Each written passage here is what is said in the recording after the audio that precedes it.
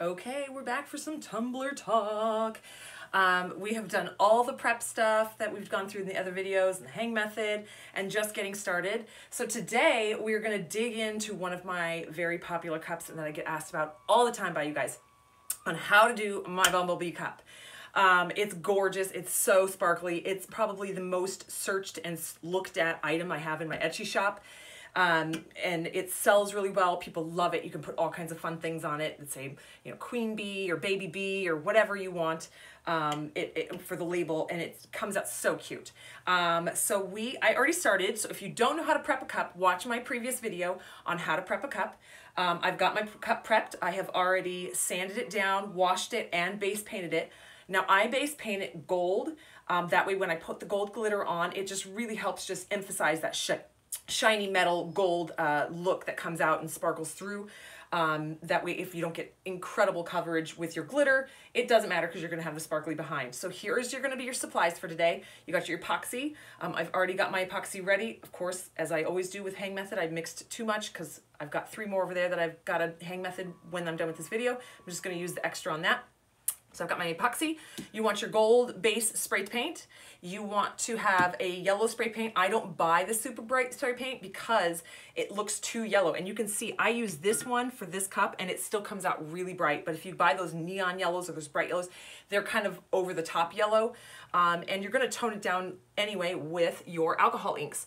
Um, so I have alcohol ink, my gold glitter, yellow paint, gold paint ready, my weeding tool, little scissors, you'll see why in, in, the, in a bit, and we've got the gloves that I'm gonna wear to do the hang method, and I've got my stickers printed out for the honeycomb, my stickers printed out for the bumblebees and flowers. You're gonna need a makeup sponge. Uh, this is how I apply my alcohol ink for this. Um, and then you will use, um, I just use my little scrap pieces of my contact paper or my transfer paper, what they call it, um, to do the honeycomb. And if you like this look, but you also wanna try it with the wood grain, which I've done, and you can see it here, I have switched to using wood grain, I mean wood stain, actual wood stains, because a big reason, um, the a lot of the wood grain colors in the alcohol inks will turn green when you seal them or put them under epoxy. So you can see this one. I actually ended up liking it because it looked kind of like mossy look, um, but it's got the green tint in these. And this is the one I used um, uh, alcohol inks with. And it did. When I uh, seal sprayed it, it turned green. Um, not a lot of green, but just enough to where I'm like, that was not the look I was going for for this customer. Uh, so I had to redo it and do one more similar to this, which I used wood grain stains. And you apply it just like you would alcohol inks. The way you brush it or sponge it or whatever your uh, tool of choice to doing your uh, wood grains, that's how you would do it just with the same wood grain. But today we are gonna stick with just the basic one um, and how to get it to like this honey look with the honeycomb. Okay, so I am gonna hang method this uh, get this all done with the hang method and then I will be right back with you guys and we will glitter it. So the cup has been uh, covered with the hang method and then we poured the glitter all over it. Um, I did it over a plate. Uh, I thought I was recording when I did it to show you guys and apparently the record did not turn on. So I'm coming back just to show you guys this part of the method, uh, this part of the, this stage of the cup this one has, this is the one I worked on and I had it spray painted gold, then did the hang method of epoxy over the top, sprinkled all the glitter on. And the most important tip you're gonna take from this part of this stage is that when the glitter is on there, you put these cheesy little gloves on um, and you're gonna press the glitter down. Um, this one's still a little bit tacky because um, I did it this morning, starting the video for you guys. Um, so it's still a little tacky and it'll push down, but it's this way you get all the glitter to lay down flat and that way you don't have to put as much epoxy on it to get coverage on this glitter. It's um, You're just going to do one heavy coat on your turner and then a thin, and then sand it just a touch, let that cure, then sand it just a touch, and then put the final uh, hang method layer over the top to bring it back to being shiny and then start the next process. But the important part is after you do the hang method, apply your glitter and then press it down. And when you're pressing it down, it won't do it now because it's pretty stuck on there from um, curing for the day, but a little bit's gonna fall off. Um, that's okay, and there will be some stuck to your glove. That's okay. You've got so much, and because you gold base painted that and you used fine glitter as well as chunky, even if some falls off, you still have really good coverage because of that shiny underneath spray. um, you get really good coverage and it's really pretty still. So there is that, and we are going to move on to the next step.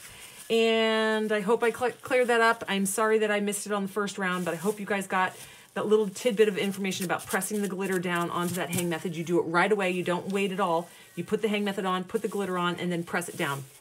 All right, we are gonna keep on moving.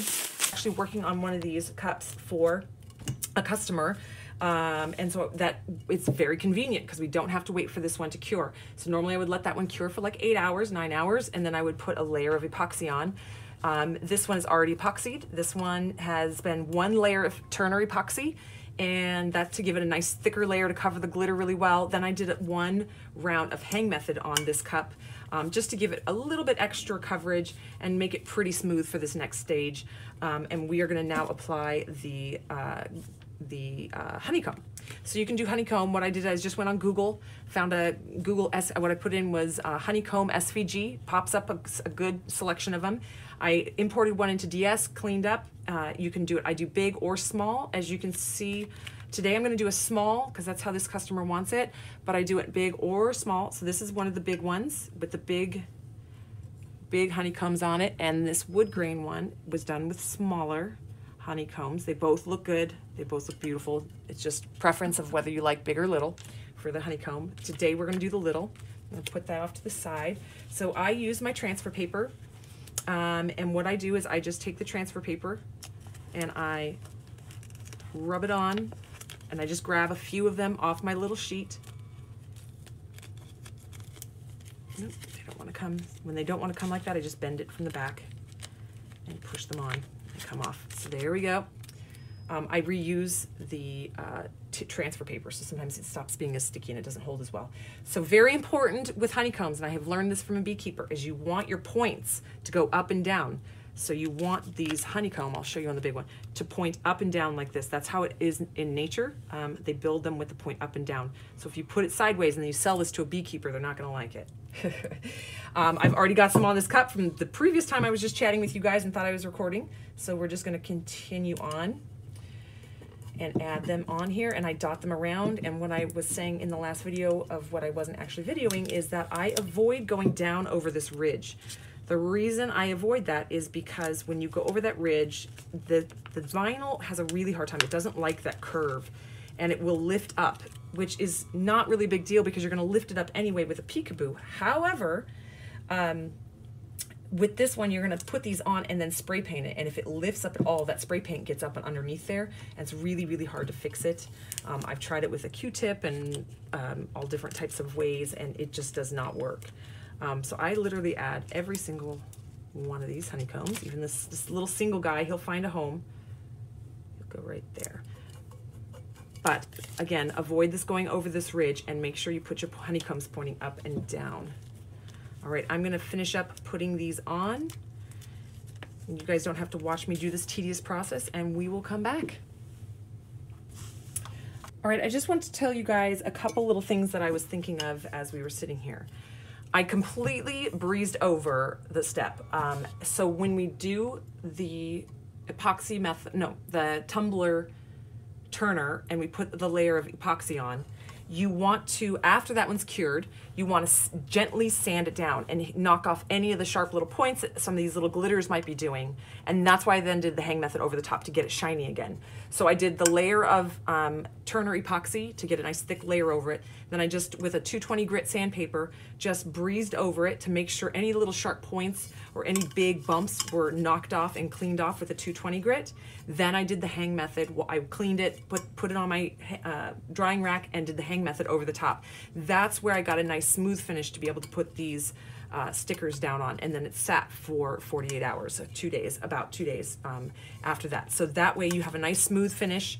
Um, you don't have to worry about sanding later because if you don't do that uh, step, when you put these on and then you spray paint over the top, you're gonna see all those little bumps and all those issues underneath uh, the paint. They're gonna all show. You can't hide them once you're at that point. So you wanna make sure you sand uh, between before you get to this stage and then do the hang method and get one thin coat over the top to make it shiny and soft and smooth and then apply your stickers. All right, so here we go. I'm gonna take this outside.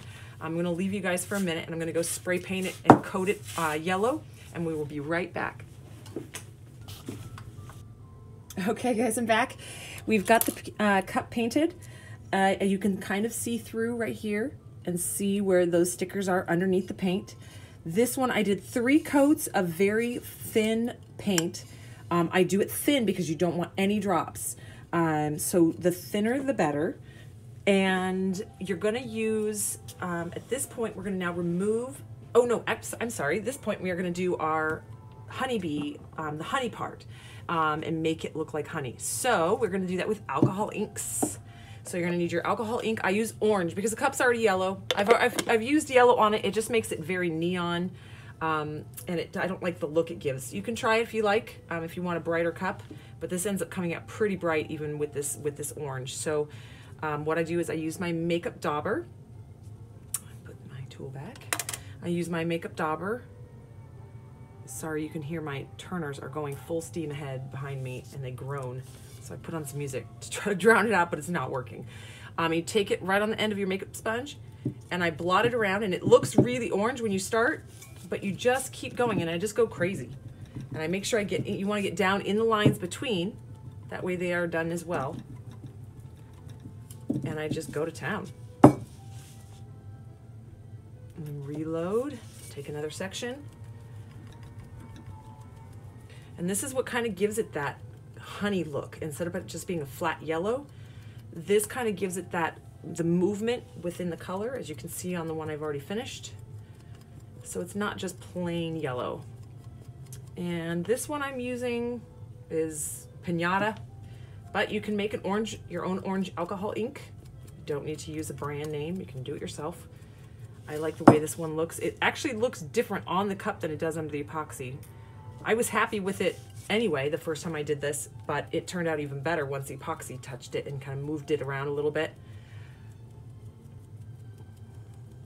All right, so what I'm gonna do is just do this all over the cup and then I will come back and show you guys the next step. I'm not gonna make you guys sit and wait for it.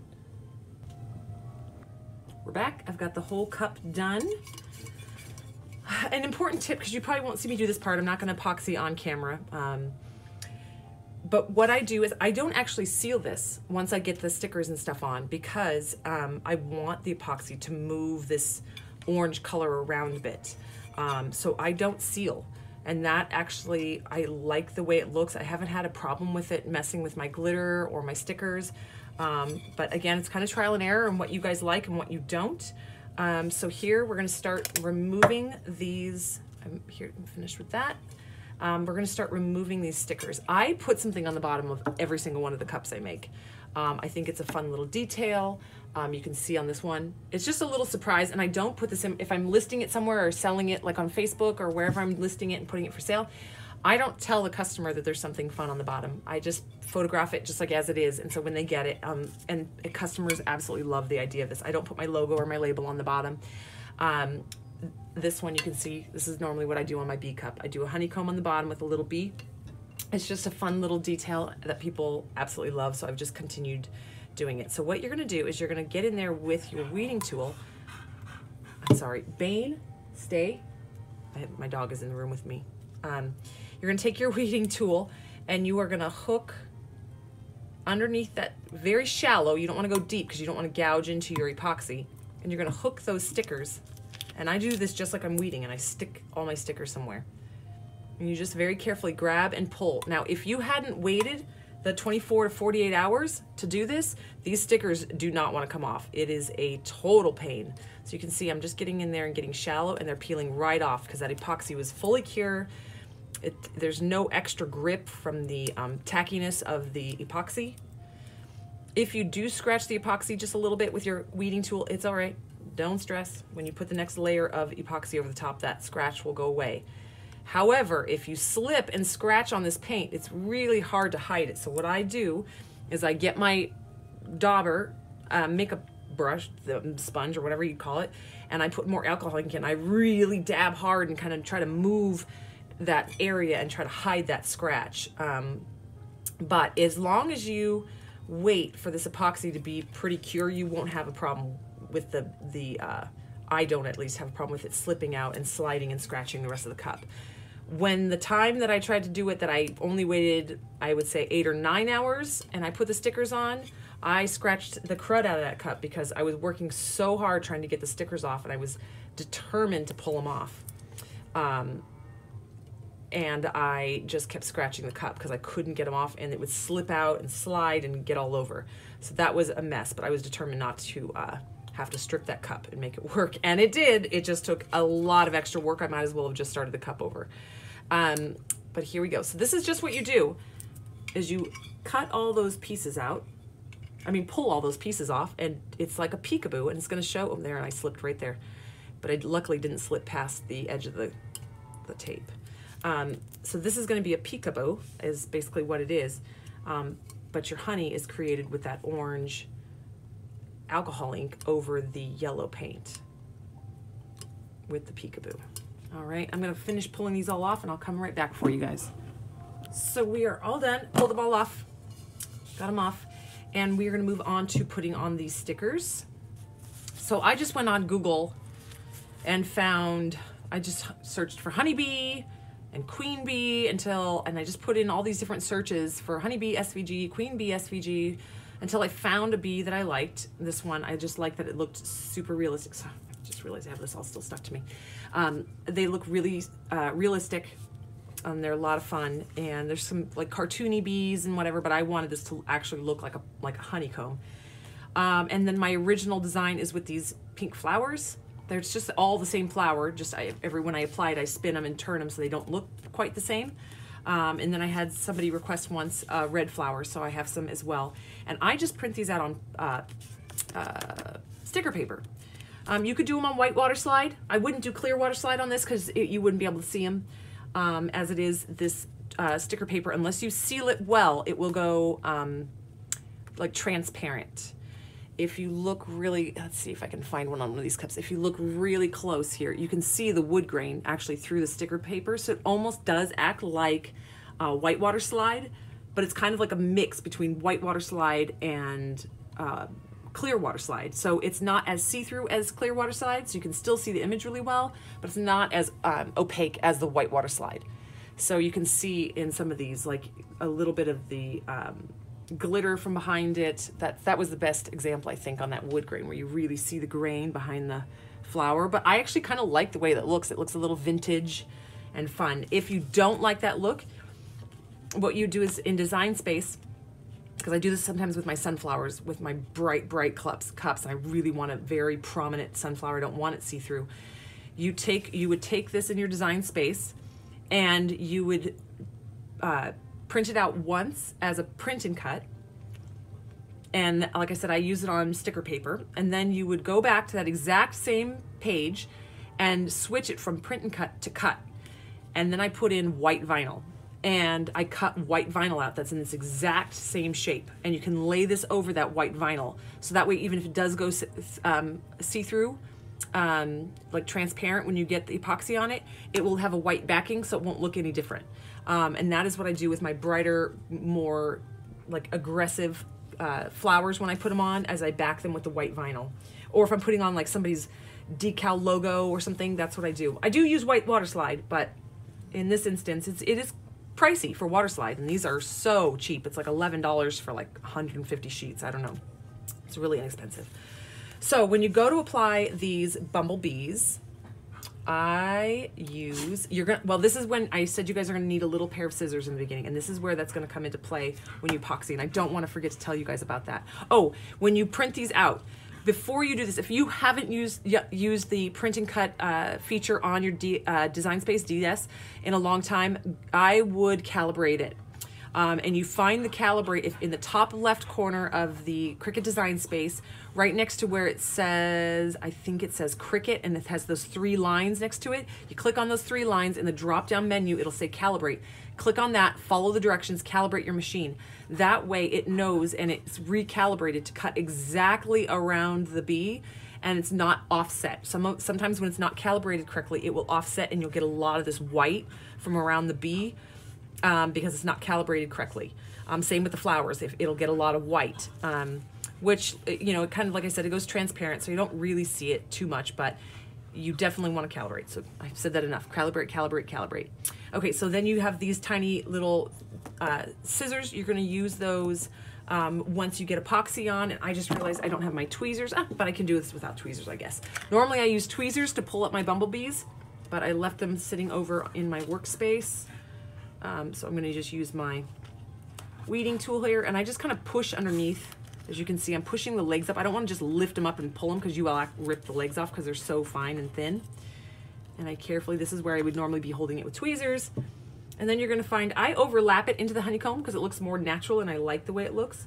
So I'm going to just start placing these on. And like you said, you can see a little bit of white around here, but not as much. If it hadn't been calibrated, it'd be a lot worse.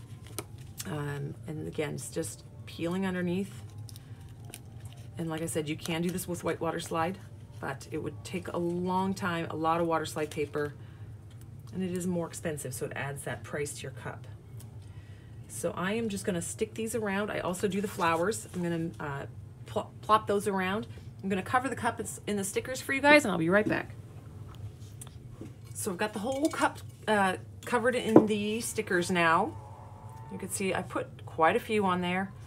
I have generally found that people like more little extras on this one than less. Um, like I said, I'm not going to seal this cup before I epoxy it, so this will kind of actually move these around just a little bit. Not a lot, it doesn't do a lot, but just enough to make it blend a little bit more. And I have not had an issue with it affecting my stickers at all. Uh, you might, I hope not. Uh, so what you're gonna use these little scissors for is when you epoxy it, you're probably gonna rub it and move the epoxy around. Occasionally a little antenna or a little foot will stick up through the epoxy and before I, then I just get in there real close. These have been in the epoxy a million times and I just snip the tip off that's sticking up and poking out. Um, because sometimes just with the rubbing and getting the epoxy on, you'll lift up some of these little small pieces. Um, so I just snip them off. Usually it's not too bad. It's usually just the tip or the edge, and I just snip that off so I don't have to deal with that later and try to cover it and sand it down and all that. Um, again, same thing with the stickers as with the um, peekaboos, is you don't want to put anything over this rim for the same reason. The sticker paper will lift, you'll have a pain in the butt dealing with it. Um, some of my first cups, you can see I tried it, but I had a lot of issues and had to put a lot of epoxy on them. Um, that's why I actually still have this one. I'm not going to sell this one because this is one of my first ones and you can see even right there. It works, and I put this bee over the lump, but I had to do a lot of extra epoxy and a lot of extra sanding, and I learned my lesson on that cup. So that is my own personal cup. Um, so this one will now be epoxied and sent out for delivery. Um, and it will be gorgeous. And I hope you guys learn some stuff. I hope you give you some great tips. Use your little manicure scissors to pick up the um, extra little bits that might stick up. Make sure you calibrate before your print and cut. Uh, make sure it cures for 24 hours before, at least 24 hours. I wait 48 before you apply the, the Peekaboo stickers. Um, and in the beginning, I guess a little tip is to make sure when you apply your glitter over the hang method to press it down with a glove so you get it nice and flat so you don't have to use as much glitter, uh, epoxy so it's not as heavy. Um, also remember you guys can do this with the um, uh, wood grain just paint it white instead and do your wood grain. I do my wood grain with um, actual wood stain.